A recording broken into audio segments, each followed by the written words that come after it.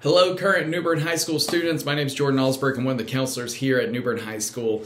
I wanted to make this video for you as a student, but also as a parent if you're watching this, to kind of go over the registration process uh, for this year so you know what uh, you should be seeing, what you should be getting in your hand, uh, but then also kind of go over, you know, what it looks like so you have a better idea of what's going on uh, here at the building.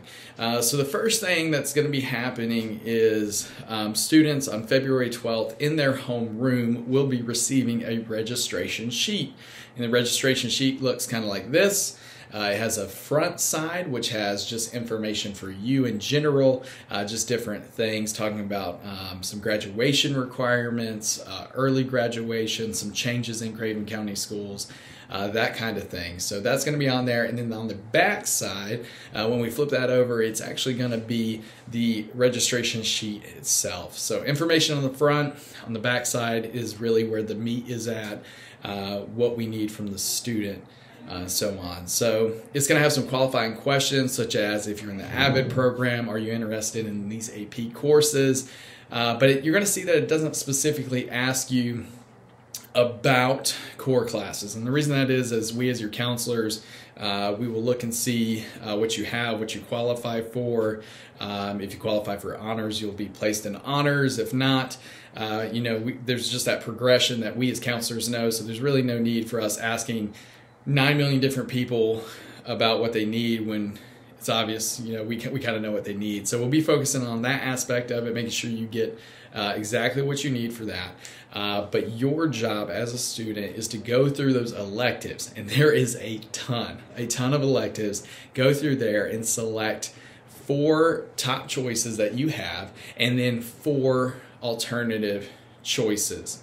Uh, and that that's your job. That's what we want to see from you guys. Now, obviously, when we get into the weeds of things, it's like, what is this class? What does that mean? I didn't have a friend who had that class, uh, so we put a QR code on the front of the page uh, that will take you to um, CTE course descriptions and they will describe the classes for you so that while you look through that form and you try to fill it out, um, you have some descriptions uh, for that.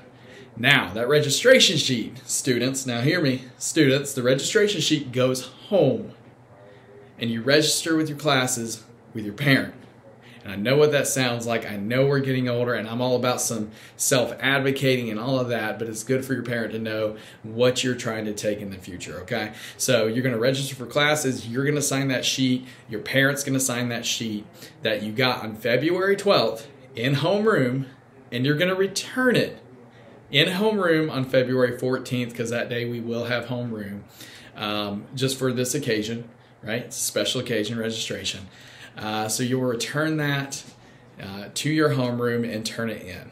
So what happens after that, February 15th, the counselors will begin meeting with all students in one-on-one to discuss registration.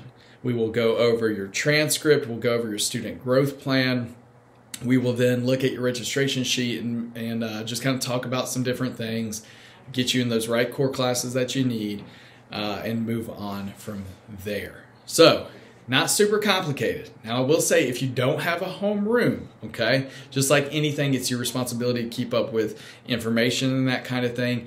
Uh, we will be sending out a blank registration form to all students. So make sure you know you get that form and turn it into your counselor. You can send it to us digitally. You can send it to us. Uh, or just drop by and drop it off. That's fine. I understand that we have many students uh, that don't have a homeroom, but it is your responsibility. As always, remember during registration time, if you don't register, I'm sorry, we get to pick your classes, okay? Um, but that's just how the process is going to be this year. I wanted to share that information with you guys, you as students, you as parents, so you know what's happening uh, inside the building. So, February 12th, students coming home with a registration form. Please sit down with your student, fill it out. And, students, get that back to us on February 14th and we will be meeting with you uh, throughout, honestly, probably about to the end of the year because there's so many of you guys. Uh, but we will make sure you guys get registered for exactly uh, what you need. Any questions, comments, concerns, parents, you can reach out to your counselors. Information is here. There it is. Uh, and you can just, like I said, reach out to us and we would love to help you. Um, thank you guys. Uh, looking forward to another great year next year and uh, just continue to crush it, Bears.